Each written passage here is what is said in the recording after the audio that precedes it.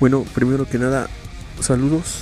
Y bueno, no sé qué pasó con la guía de. Bueno, los consejos para Dead Mode que se congeló el maldito video y pues vale gorro. Entonces, pues hay que volver a hacerlo. Pero yo creo que es mejor porque al final de cuentas lo volví a ver y pues a lo mejor sí me hice bolas en algunas cosas. Pero bueno, este para empezar hay que tener un personaje con, o sea, no un personaje, sino que hay que tener las habilidades ya elevadas, sobre todo el salto, el disparo poderoso y la velocidad, el que está en inglés como speed, para pues para poder tapar todos los disparos de los rivales y, y detener los balones de una forma eficiente. Otro segundo tip que doy es que hay personajes con los que es muy fácil ganarlo. En mi caso, en Francia, bueno, así como yo creo, yo creo que hay mucha gente que, que también he visto en videos o que, o que he comentado acerca del juego y Francia es el personaje con el que se puede sacar el Dead Mode de la forma más sencilla. Entonces, si, si quieres ganar por primera vez Dead Mode, es muy recomendable que ocupes a Francia. Además, Francia se desbloquea muy fácil porque solo tienes que ganar en modo arcade este contra, si no me equivoco, contra 14 rivales en muerte súbita. Según yo ese era, porque pues no me acuerdo, ya pasaron muchos años desde que lo desbloqueé.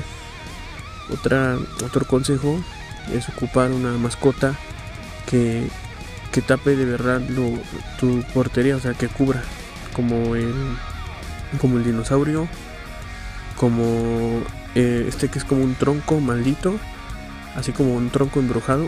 Y ya la tercera opción, que para mí es la mejor, es el hongo, ya que salta y resiste muchos balonazos.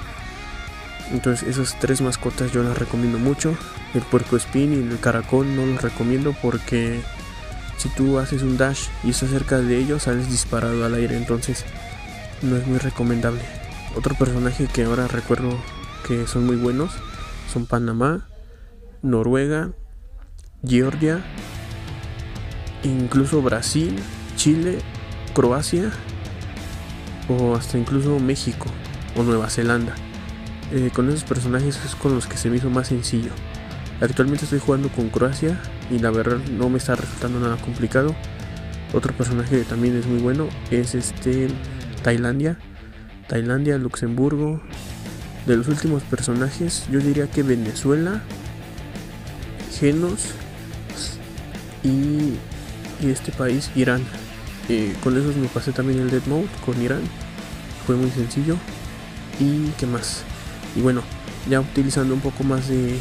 Pues así que hay que utilizar todas las ventajas porque es un modo bastante extenso y solo tiene 5 vidas para continuar. Entonces la siguiente recomendación es un casco. Utilicen el casco que tengan, o sea, el mejor casco que tengan, el que les proporcione más características. Y si tienen uno de doble S, mejor.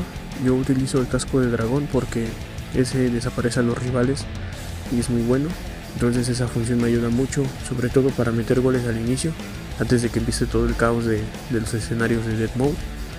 Y ya por último, una cosa que, me parece también muy importante es utilizar un, traje.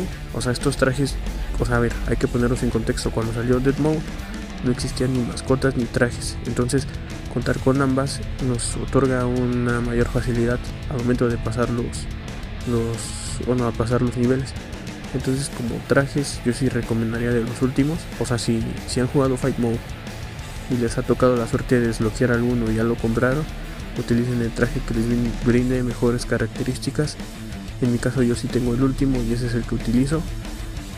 Y ya por último consejos así de juego, o sea, de forma de jugar, es que en los primeros 10 segundos antes de que el escenario explote o se colisione con tantas cosas, intentar meter dos goles o tres y de ahí jugar una, de una forma un poco más defensiva. O sea que hay que seguir buscando goles, pero tampoco hay que alborotarse y, buscar meter 10 goles y que te claven muchos por, por estar ahí de ofensivo. Y pues ya más que nada ya esto, es, esto último es muy personal. Yo juego alrededor de uno o dos niveles al día. Así como los, así como los voy grabando. Si se dan cuenta en los videos que subo, son dos o tres niveles por video y eso es lo que juego por día o incluso si son días que, tengo muchas ganas de jugar Head Soccer, pues juego unos dos niveles, eh, me salgo, descanso, luego ya rato, o sea, después de un tiempo vuelvo a jugar otros dos niveles y así. Ahorita con Croacia estoy como por el nivel 25, 26. Este, al rato voy a jugar el nivel 27 y 28 y ya yo creo que mañana grabo los últimos niveles que son los que se suben. Y pues nada esos serían los algunos consejos.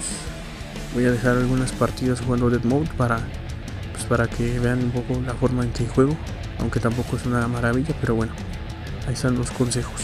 Nos vemos